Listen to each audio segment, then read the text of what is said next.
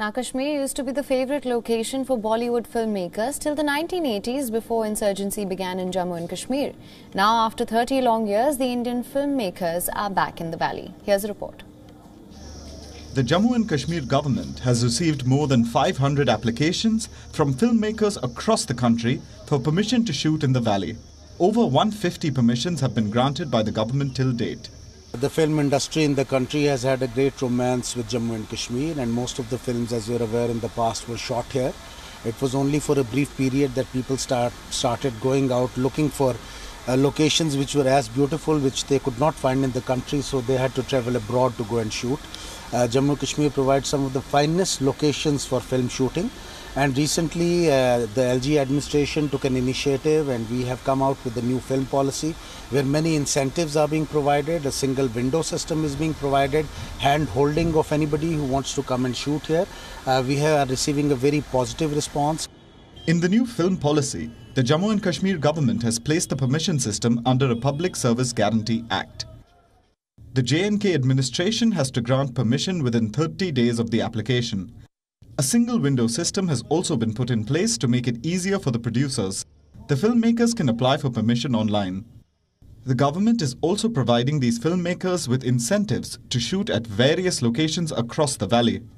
Filmmakers of the valley are happy over the revival of film shooting, especially as local artists would also get a chance to work in these ventures.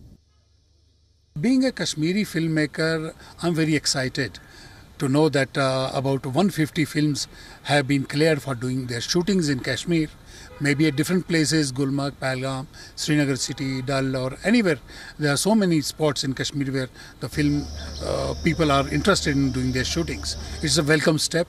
I'm very happy and I'm thankful to our Lieutenant Governor Shri Manoj Sinha ji who was interested in uh, making that film policy and keeping some benefits for the films and the filmmakers so that uh, they more and more filmmakers and film units come to Kashmir for shooting their films. It will help uh, in so many ways. It will help in growing business in Kashmir as uh, the businesses like hotel, uh, transportation, and other things. With the Indian film industry returning to the Kashmir Valley, the first multiplex in the valley is being thrown open this month. The movie theatres in the valley were shut down in the early 1990s, and it's after a gap of three decades that the big screen is coming to a multiplex. It seems that Kashmir is regaining its earlier charm. Tourism in the valley has seen a boom in the last two years, and it looks like the film industry too is returning to its favorite destination.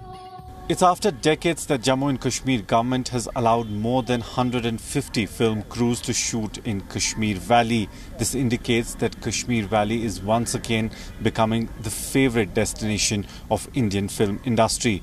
The government of Jammu and Kashmir believes this will further push the tourism of Kashmir. With video journalist Feroz Idris Lone for WION World is One. WION is now available in your country. Download the app now. Get all the news on the move.